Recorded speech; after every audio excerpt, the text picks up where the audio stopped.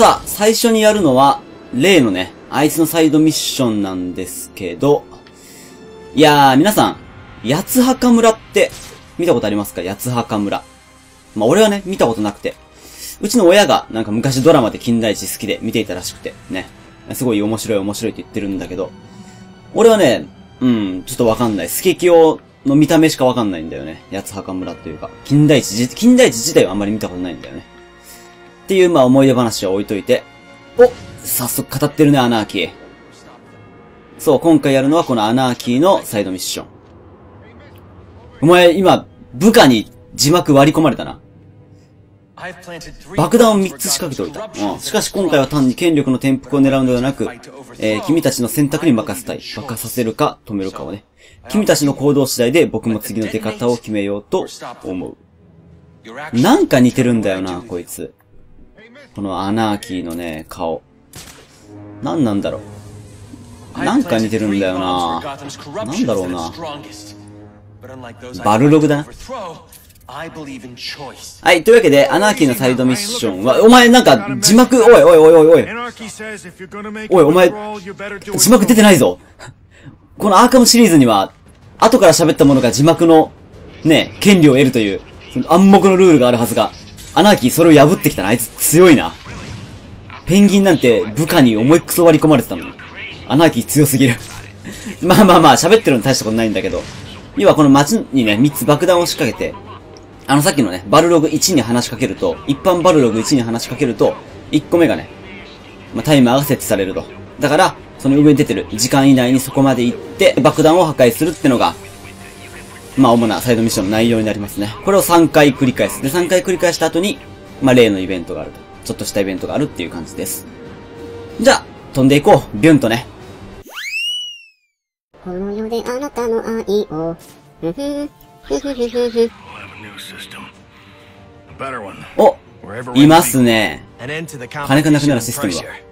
無政府主義者。まあ、今回、このサイドミッションでしか出てこない特殊な敵なんだけど、まあ、アナーキーのね、思想に賛同して、まあ、一緒に、こう、テロか、テロ的なことを行っている、まあ、若者集団だね。まあね、全部聞いてもいいんだけど、ぶっちゃけね、あまり俺は理解できなかった。本当にね、なんだろう、難しいのか俺がアホなのかわかんないんだけど、あんまり理解できない。まあ、最後にね、特大の長い話が待ってるから、そこで、いろいろ、アナーキーの思考、思想は、聞かせてもらおう。はい、というわけで、終わりいっててててててて、ああ、いててて、見てるだけでも痛いよな。はい、にぎにぎにぎと。まあ、中心部で心臓握ったらこいつ死ぬんで。はい、これで1個目。アナーキーというものは、3個の爆弾がどうのこう言ってました。つまり2個残っている。そうだね。俺ならできる。ちょっとまあ、できるけど。できるけど。照れちゃうな、そう言われると。おい、うるさい。というわけで、2個目行きましょう。いたね、バルログ2がいるね、ここに。すげえシンプルな格好してるな、お前。ラッパーみたいなポーズ取ってるけど。この役もようわからんよね。というわけで、二つ目、止めに行きまーす。どうも、おいまたこいつらもね、長々と話してるんだけど、ちょっとね、難しい、難しいというか理解できないから、俺は飛ばす。まあ、こいつらの思想をね、知りたい方は、おい、まあ、詳しく知りたい方は、ぜひプレイしてくれ。マジで理解ができなかった。おおいおいおい。甘いよ、バットマンくん。ちゃんと、とどめはさないとね。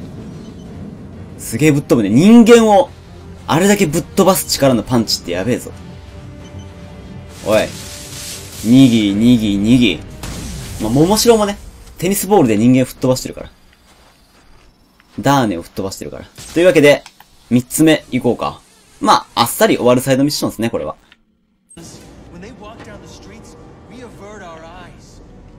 何これ、アナーキーめっちゃ長い字幕で喋ってんだけど、これ、どこにいんのアナーキー？どこで喋ってんのこれ？操作モードにしてもわかんねえぞ。もうもうダメだ、聞いてらんねえ。まあ、この話を聞いて賛同できる人はぜひアナーキーにね、テルしてください、テル。この無政府主義者の仲間になりましょう。バルログに。はーい。というわけで3つ目やりまーす。あ、いたここにいたわこんなところに。すごいな、アナーキー。金かかってるね。あ、ちなみに、今これだいぶゆっくりしてますけど、この爆弾に関してはね、かなり時間に余裕があるので、まあ、ゆっくりゆっくり行っても大丈夫だと思います。戦闘でね、まあ、手こずりさえしなければ、まあ、特に問題はないかなと。はい、じゃあ飛んでいくよ。さあ、着いた。ここだね。ここに爆弾があるらしい。おーおー下に爆弾があるんだけど。これ警察署ね、警察署。仕掛けられすぎ。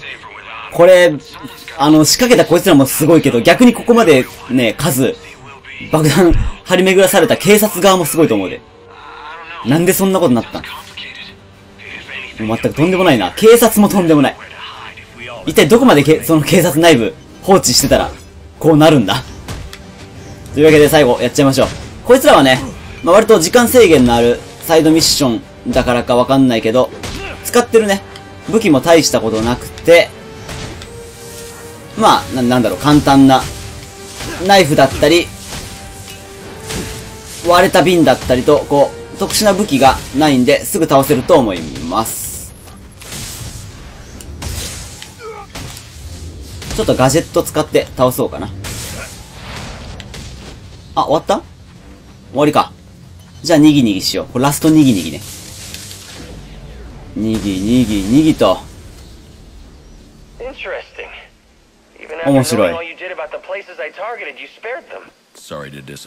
ういうこともうなんかもう、役が悪いのかな？パッと見こいつの文章理解できないんだよね。はい、これで終わりじゃありません。確かに。アナーキーはまだ、ノーノーとね、この街をカッポしてるんで、まあ、アナーキーをぶっ飛ばしに行かな、いといけないと。で、アナーキーがね、だから裁判所にいるらしい。だからその裁判所に行きましょうって。これはあの、アーカムビギンズによくある無音バグね。移動の時、無音になるっていう、このファストトラベル。これめちゃめちゃ頻度高く起きるから。よし、裁判所来たぜ裁判所ね。裁判所懐かしいね。まあ、ここはちょっとね、アーカムビギンズしか知らない人はちょっと何のこっちゃってなるんだけど、前作、アーカムシティでね、まあ、最初に訪れた場所なんだよね。この、裁判所ってのは。うん。キャットウーマンっていうキャラクターがね、これ囚われていて。わあ、懐かしいね。アーカムシティ面白かったね。で、いろんな落書きがあるね。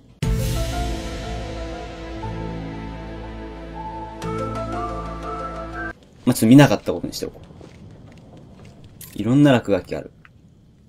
これは、この A っていうね、あのテレビの真ん中に映ってる A のマークはアナーキーのマーク。アナーキーの集団のマークなんだけど、これどういうことなんだろうね。奴らね、テレビがなんちゃらかんちゃらってすげえ演説してるんですよ。テレビがあるからこそなんか、思想が偏るだっけ？みたいな話を、テレビから流れるのはみたいな、そういう話をしてるんだよね。まあまあまあ、この、活力溢れる若者たちのね、ここは溜まり場になっていると。にしても溢れすぎじゃないか、活力。うまいしね、で、ここ。ここにはね、前作アーカムシティの時には階段があったんだけど、今はないね。この下に例のね、犯罪者がいたんだけど、前作。まあ、そんなこと置いといて。アナーキー I'm so glad you came! It's an honor, really. There's so much for us to discuss. What do you want? 前、もう山ほど喋ってたけど。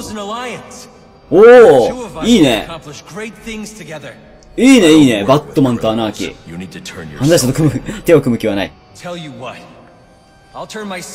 お前が実施したら僕も実施するよ。自分は犯罪者だと思ってないんだろう。これちょっとね、確信迫ってるよね。まあちょいちょい言ってるけど、犯罪者も言うてね。犯罪者じゃない、バットマンも言うてね。トライ用によっちゃ普通に犯罪者だから。てか、け、ちょちょちょちょ、警察はそういう、考えしてるしね、今は。だから、このアナーキーの言ってることも、あながち、間違いでは、ないのかもね。はい、ちょ、申し訳ない。やり直しました。いやもうね、さっき、サブレを食べたんだけど、お土産でね、サブレもらって、それ、食べて、もう割と美味しいから、パクパクパクパクっといっちゃって、おかげで、口の中がすげえパサパサ。水分を用意してから、食べるべきだったね、あれは。はーい。はい、というわけで終わりですね。まあ、サブレの話をしてたら終わると。で、2戦目からは、ちょ気をつけて、上見てね、アナーキーが、火炎瓶を投げてきます。ああいう風にね。火炎瓶を投げてきて、こいつらも、まあちょっとだけ武器を持ち始める。ちょっとだけだけどね、ほんと。だから、それに気をつけて、戦う。上見てね、アナーキーが、かがんだら火炎瓶が飛んでくるあいつ。おい。え今食らった？火炎瓶。範囲めっちゃ広ない。ちょちょちょちょちょ。ぐだりすぎぐだりすぎ。もうもういいわ。やっちゃうわ。思ったより火炎瓶の範囲が広かった。で、そうそうそう。第2次を倒すとアナーキー自身もやってきます。なんだけど、アナーキーはね、ちょっとまた特殊な敵で、前の、デッドショットみたいに HP を持っています。だからあれを、ね、ちまちま削っていかないとダメなのかなと思ったけど、そんなことなくて、周りのね、雑魚敵を倒した後にすげえ飛んだな。こいつ攻撃すると一発で終わると。簡単だね。あの HP の意味はあんのかな You're just a kid. So, what does it matter? I wanted to make a difference. I thought you'd feel the same. I do, but not like this. この辺の話はね、割とわかる。almost died tonight because of you. Innocent? They watched us 警察署あれむしろ自分で仕掛けたんじゃないのっていうぐらい爆弾多かったけど。afraid. No, they're weak. And こんな顔な are のか you.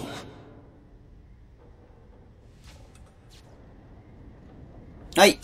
これで終わりです。終わりなんだけど、来るぞ来るぞ。来るぞ。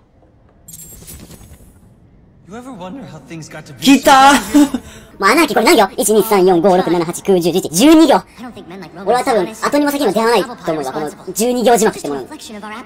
なぜこれ子がこれほど愛ったか考えたことあるか僕はあるぞ、いつも考えてるさ。いいか、僕はローマンシオニスやオズワルド・コボルポットみたいな奴らに責任があるとは思わない。あいつらは僕らの無関心、背筋主義、恐怖心の表れでしかないのさ。物事がうまくいかなくても、いかなくなり始めても、僕たちは見て見ぬふりをするものなんだ。一心不乱に働き、エンターテインメントを装った。プロパガンダを消費する。いつだってメッセージは同じだ。何も考えるな。何も質問するな。そして全てを諦めた社会が行き着く先は何だと思う？腐敗さ、嘘つき、詐欺師、悪党、住宅地区も商業地区も関係ない。ペンタハウスのスーツ野郎だって、街頭の麻薬密売人と対さああでね、これ終わりじゃないんだよ。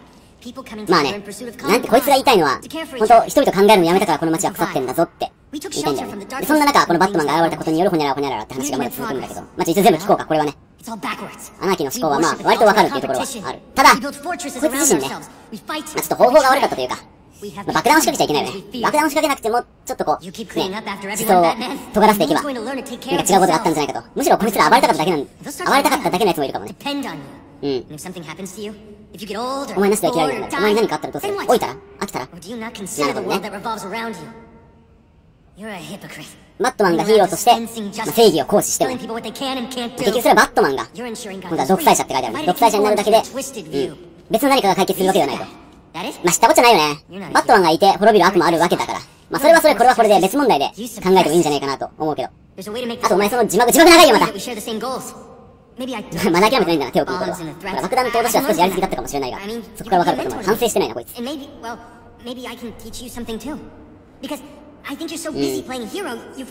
生かしたガジェットもなければ強さもていくに。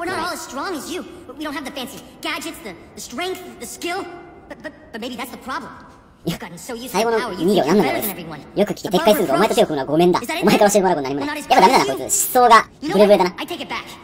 あまりいいやつじゃないのかもしれないやっぱり。こいつのことはもう忘れよう。今日限りで。まだ喋るのかよこの街がここまで荒れる本当の原因は自分であるって考えたことないのか僕はあるぞ、そう考える。たことのある人が多いぞ。そして今僕はそれが正しいんじゃないかと思い始めている。まあまあまあ、バットマンのせいでジョーカーが元気になったってのはあるけど、あるけど、それはまたそれ。それはそれ。すげえ特殊なパターンだから。いや、バットマンがいないと、ね、困る人もいるからね。というわけで、アナーキー様の、まあ、なんていうんだ、講演会でしたね、講演会。長い長いお話が終わりました。まあ、アナーキーに賛同できた人はぜひね、こいつにちょっとテルしてみてください。ゴッサムシティのこのアナーキーに。ね。この無政府主義者の仲間入りになれると思うんで。はい。というわけで、1個目のサイドミッション、終わりです。さあ、二つ目のサイドミッションは、これです。バードね、ギャング間の構想を調査する。どうやらね、まあ、二つのギャング。二つのギャングがね、バトってるらしい。何かしら化学薬品、化学兵器薬品を求めて、まあ、二つのギャングが争っていると。だからそれを、まあ、止めると同時に調査するってのが今回のサイドミッションだね。で、まあ、化学薬品というか薬って聞くとね、ちょっと前に本編で戦った.ベインがね、いたよね。ベインが使ってたベノム、あの筋肉ムキムキになるやつね。元は麻酔だっけまあ、それが何かしら絡んでるんじゃないかとバットマンは踏んで今からこのね、まあ、戦いに身を投じるわけですけど。これね、今、二つの組織、二つのギャングが、まあ、すげえね、原始的な争いをしてます。殴り合いっていう。ギャングっていうからもっと銃バンバンバンバンって撃つのかと思いきやね、すげえ原始的なこの殴り合いっていうね、まあ、太古から伝わる戦いをしてるんで、ここに割って入りましょう。で、これ割って入るとね、なぜ、おい痛えね。割って入るとね、なぜか、まるでこう、小中高とかずっと一緒だった幼馴染のようにこいつら連携してね、バットマンに襲ってくるんですよ。お前らさっきまでの構想は、どこ行ったんだ？っていうぐらいにまあ連携するんで、こいつらを黙らせましょう。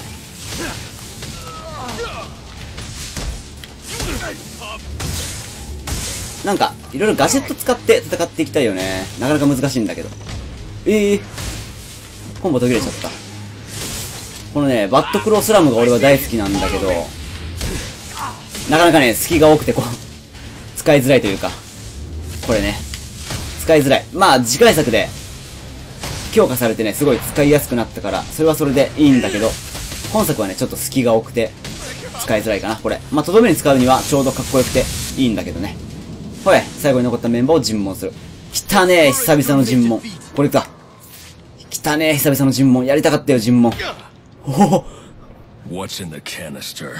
A gift for El Jefe. One of many. Where are the others? I will say no more. おー、バットマンさんさすがです。バットニキさすが。コボルポットの野郎が手下を送り込んできた。うん。ギャング間の構想を調査する。どうやら争ってるギャングの一つは、コボルポ、コブルポットらしいですね。あのー、あいつ、ペンギンやペンギン。前回、武器をね、ボコボコにしたあのペンギンね。だからペンギンと、まあ、何かしらのグループが争ってるらしい。はい。というわけで、もう一個の方行きましょう。喧嘩はダメよさあ、仲裁に来ました。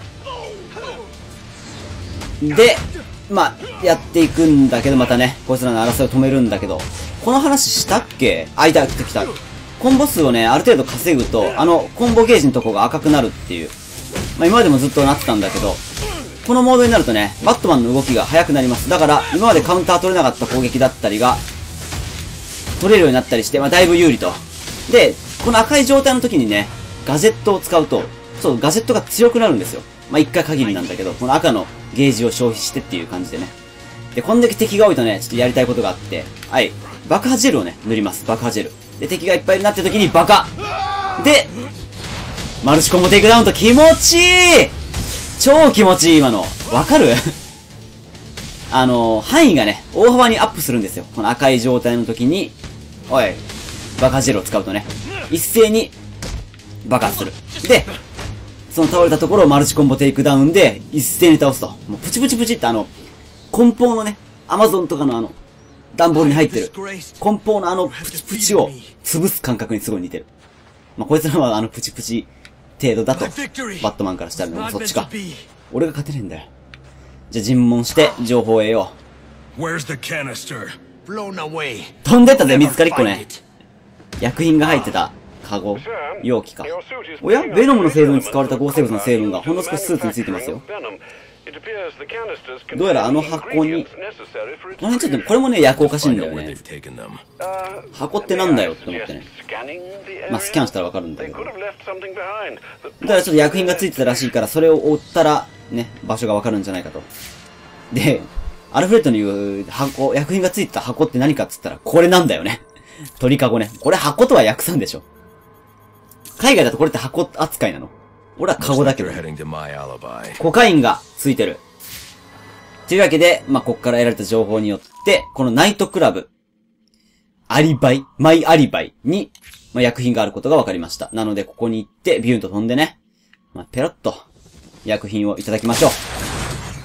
一人に一つずつもらえる自由と情熱を手に輝くために生まれてきた僕らの旅は続く!レストラン船長は生み出すよ止まらないファイルだこれ僕らはまだ見る旅倒したね。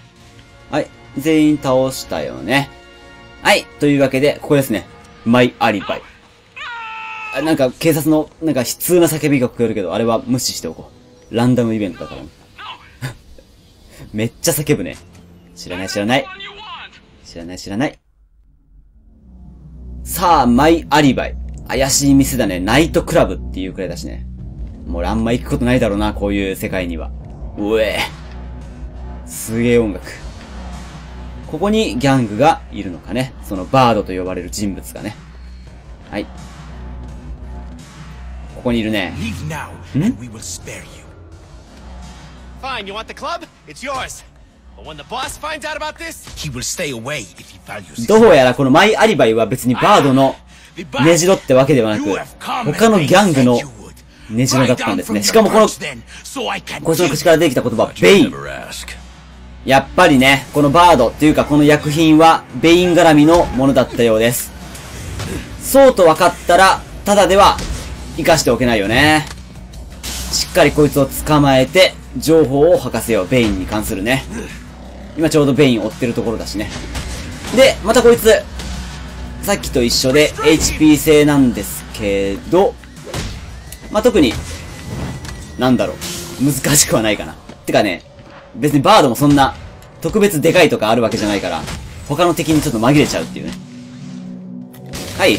またこいつも他の一般兵を倒して、全員倒し終わった後にこいつを攻撃して、終わりと。今 HP もりっと減ったね。おい。今のはこいつが耐えたんじゃない。俺が手加減した。尋問いいね。ベインの副官だったらしい。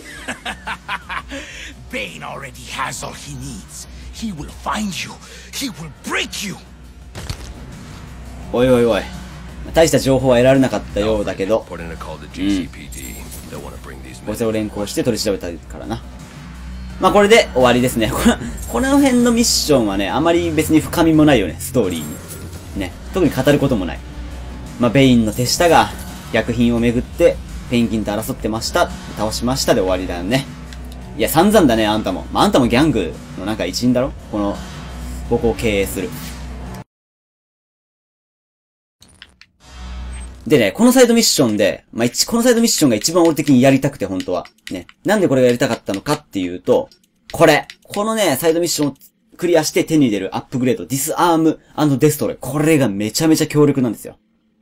ね。敵の武器を一撃で完全撃破できる、完全破壊できるテイクダウン。要はね、まあ、コンボゲージを貯めて消費する技なんだけど、敵の武器をね、分解することができるんですよ。敵の何でもいい。銃だったり、バットだったり、パイプだったり、盾持ちのね、盾も破壊できる。この盾を破壊できるのがすごい大きくて、今まではね、盾持ちの盾を落としても、違うキャラクターがね、違う敵が盾をひょいと拾っちゃうんですよ。だからちょっとこう、なんていうのかな。まああまり意味がなかったと。盾持ちに対してね、有効手段が少なかったんだけど、まあこれを手に入れたことによって、盾持ちに対してね、完全有利になれるという。